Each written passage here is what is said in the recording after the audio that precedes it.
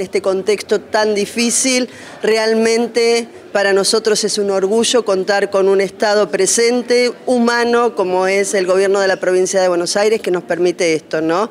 Poder llevar adelante una obra como el CDI, el primer CDI de Cañuelas y en el barrio San Ignacio. Muy importante reforzar la seguridad en todos los puntos de la provincia. Me quedé impresionado, un centro de monitoreo, 400 cámaras, el trabajo de detección de patentes, de rostros para, para casos problemáticos, una sociedad, un pueblo que necesita del Estado, esto no se lo pueden pagar por privado, ni en la salud, ni en la educación, ni en la seguridad.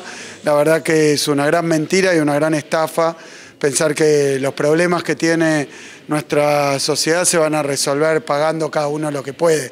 Esto genera más desigualdad. Y ahora, recorriendo este centro de infancia, un jardín maternal, digamos, de un año a tres años, para muchos chicos y chicas que, de la provincia, que su familia confía en el Estado y que de nuevo no pueden pagarlo por privado y por la propia. Entonces es importantísima la presencia de un Estado provincial que garantice los derechos, pero para eso se necesitan intendentes, intendentas, como en este caso, que, bueno, que estén siempre viendo dónde hay que profundizar y cuáles son las prioridades.